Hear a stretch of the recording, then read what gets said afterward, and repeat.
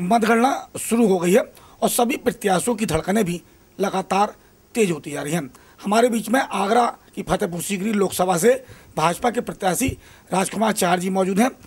भगवान की पूजा अर्चना कर रहे हैं और इस बीच में हमने उनसे बात की, किस तरीके की धड़कनें इस बार दिल की कर रही देखिए, मन में बहुत विश्वास है, बहुत आत्मविश्वास है और जिस प्रकार से मैं पहले दिन से कह रहा था और आज भी कह रहा हूँ कि माननीय नरेंद्र मोदी जी को देश का प्रधानमंत्री बनाने के लिए और राजकुमार को अपना सेवक बनाने के लिए फतेहपुर सीकरी की जनता जनार्दन ने ज़बरदस्त तरीके से भारतीय जनता पार्टी के पक्ष में मतदान किया है। भगवान के शरण में सभी प्रत्याशी हैं। आप क्या कुछ मांगा है भगवान से? देखिए ईश्वर से मैंने हमेशा एक ही प्रार्थना कर की है।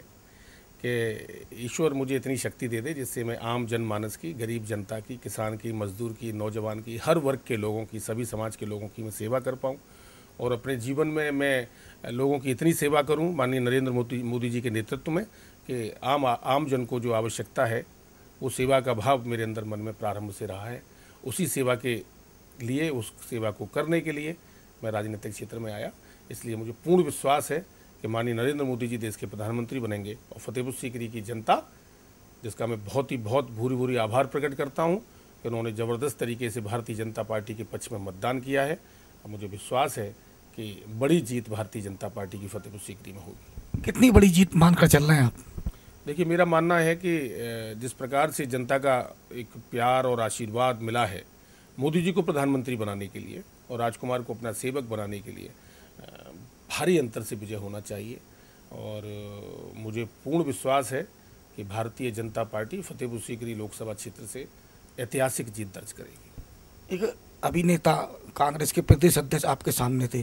कहीं आपका जो आत्मशक्ति थी कम कमज़ोर पड़ती दिखाई दी थी कि आत्मविश्वास बड़ा था? देखिए मैं आपको बता दूँ कि सामने कौन है इस बात की परवाह कभी की नहीं जाती है। और मैं सिपाही हूँ माननीय नरेंद्र मोदी जी का और भारतीय जनता पार्टी का।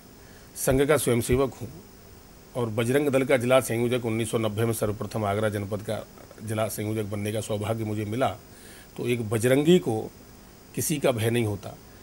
बजरंगी तो भगवान राम, श्री राम का भक्त होता है और श्री राम का काम करने के लिए राजकुमार चाहर, पहले से तत्पर है, सामने कौन लड़ रहा है, उसके बारे में आगरा की जनता भली भांति जानती है। भाजपा प्रत्याशी राजकुमार चाहर जी कहते हैं कि वो बजरंगी रहे हैं। और बजरंगी को किसी प्रकार की कोई भयभीत होने की आवश्यकता नहीं रहती है। यही वजह है कि राजकुमार चार जी आत्मविश्वास से पूरी तरह से लवरेज नज़र आ रहे हैं। अपने साथी अखिलेश दुबे के साथ राकेश कनौजिया सी न्यूज़ आगरा।